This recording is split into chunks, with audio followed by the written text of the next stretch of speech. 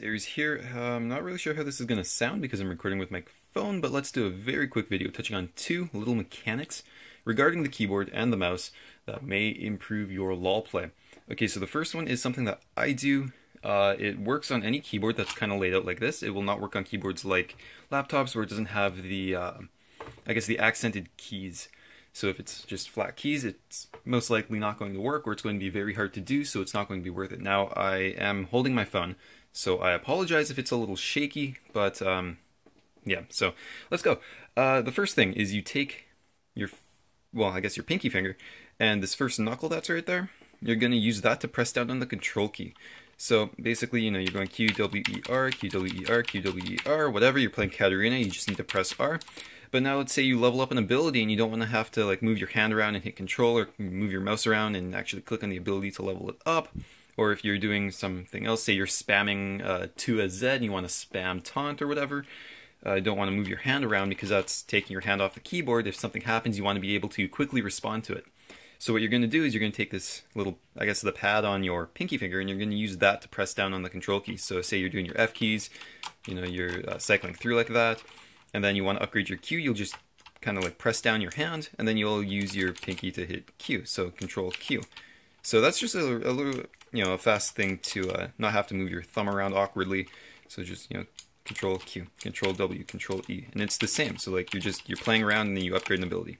Playing around, upgrade an ability, you want to check what your leg is at, or your ping, whatever, you Control F. You know, you don't have to move it around awkwardly, you don't have to worry about missing the control and wasting your flash. So that's the first one. Okay, now we'll move over to the numpad for the second one. And this is something you can do. Uh, typically you do it with two hands, but I can't actually show you that because I'm holding a phone.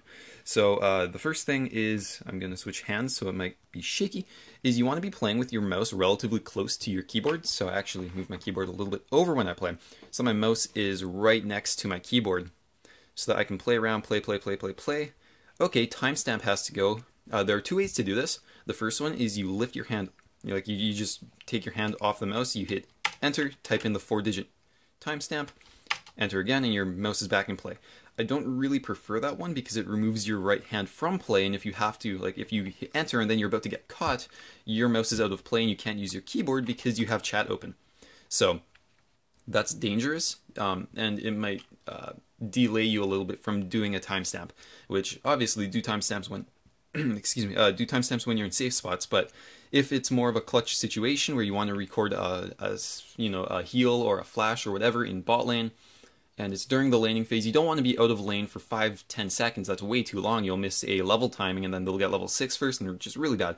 But what you'll want to do is, okay, so this one, it, I don't know, it might be harder depending on what kind of mouse you have, what kind of hand you have, but what you do is you just, you kind of pincer between the pad of your thumb and the, I guess, the same pad from your pinky. You just pincer that with your hand, you bring it over, and then you hit enter. That way, if you need to, your mouse is still in play. You're never lifting your hand off your mouse, and you're lifting your mouse up so that you don't, like, I don't know, like throw your mouse across the screen. So you pick it up, you hit enter, then with your left hand, you just bring this over and you, uh, oops, uh, you bring your hand over and you type in the numpad, uh, four-digit timestamp, and then you hit enter again.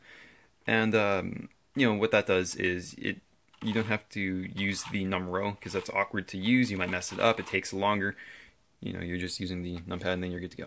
So that speeds you up. and makes sure that at least one hand is always in play and that your mouse is not out of play. But typically what I do in just normal casual game is I take my mouse off, enter, four digit timestamp, enter, and then my mouse is back into play. So uh, yeah, so hopefully those help you out. And um, yeah, make sure you check the links in the description. I actually am setting up a Patreon account, so if you like the videos, want to support me, want to get, I don't know, I'm still thinking about what to do for rewards, so it's not live yet, but um, I'll post a link in the description. Make sure to follow me if you want to support me. And uh, yeah, so I hope you enjoyed this video, hope you learned something from it, and thanks for watching.